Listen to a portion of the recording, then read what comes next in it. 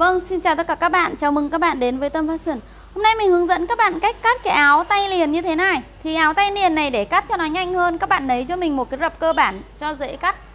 Từ cái rập cơ bản này các bạn kéo dài cái phần vai này ra.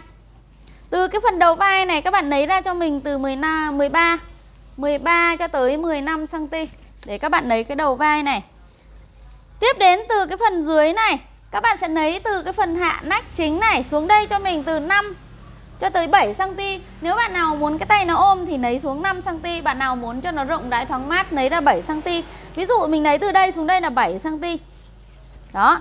Lấy xuống đây là 7 cm từ cái phần chính này, thay vì các bạn cộng áo của cái phần um, cơ bản các bạn cộng 1 1 phần tư ngược cộng 1 Thì cái phần ở bên sườn của cái áo này Các bạn sẽ cộng từ 2 cho tới 3cm Cử động cho mình Và các bạn đánh đánh lùi cái đường này ra đây đó, khi các bạn cộng 2 cộng 3 tức là cái đường này à, nó sẽ được rộng ra ở cái form áo. Cái phần ni này các bạn bỏ luôn cho mình, phần ni ngang sườn các bạn cũng bỏ luôn, không cần lấy ni gì hết. Cái phần này chính là phần vải gấp đôi. Tiếp đến từ cái phần chính này này các bạn ra xuống đây là 7, các bạn kéo dài ra đây cho mình. Từ cái đường này khi mà các bạn đánh ấy, thì các bạn nhìn nhá.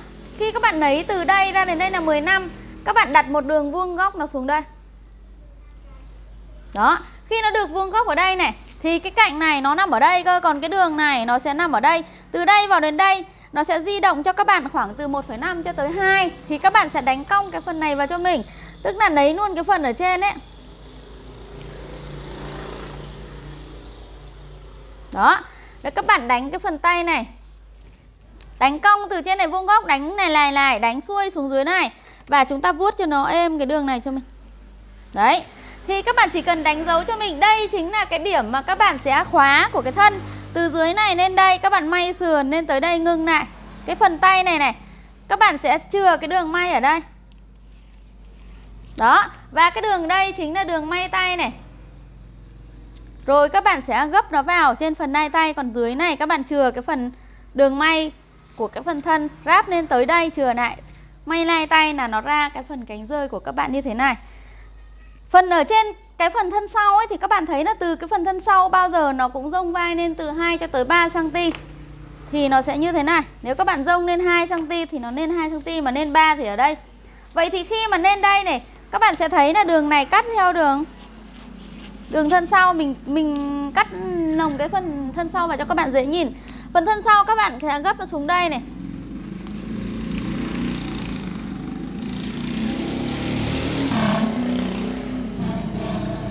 Từ cái phần trên vai, rông vai Có phải là phần thân sau sẽ được gấp vào đây? Đó Thì phần thân sau sẽ được đánh cái phần này. Ra đây.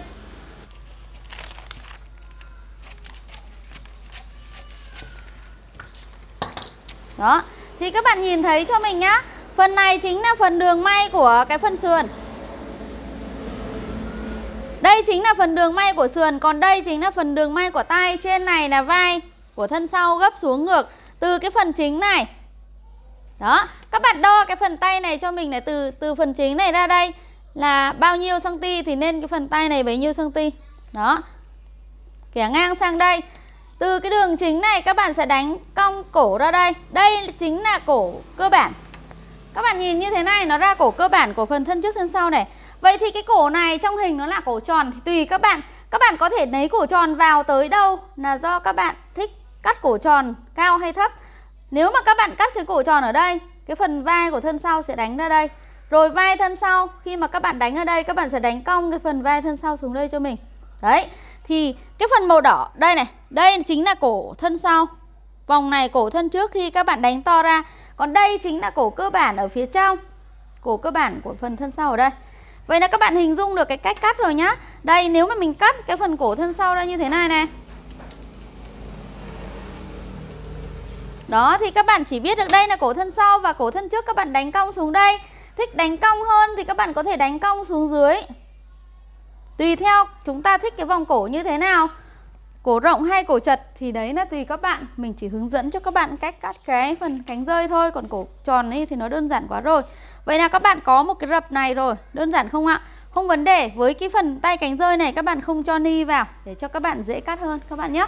Còn khi trường hợp có ni, có thay đổi, có ni, có à, với trường hợp áo cánh rơi mà nó có được nhúm ở đâu ấy thì chúng ta sẽ cho ni vào để chúng ta xoay chuyển cái ni để cho nó biến thành cái phần gấp ni hoặc gấp nhún ở chỗ nào đó. Còn như cái áo này, các bạn cứ cắt vậy cho mình là ok. Các bạn hài lòng không nào? Vậy là các bạn chỉ cần nhớ cho mình là nếu mà, các bạn nhớ cho mình là từ trên này xuống đây là 5 hay là 7 đó. Thì ví dụ là 5 thì cái đường này nó sẽ ở đây. Vậy thì các bạn đo này. Từ cái phần trên vai này, khi các bạn gấp đôi là nằm ở đây. Đo từ trên xuống dưới. Các bạn sẽ đo từ trên này này xuống dưới.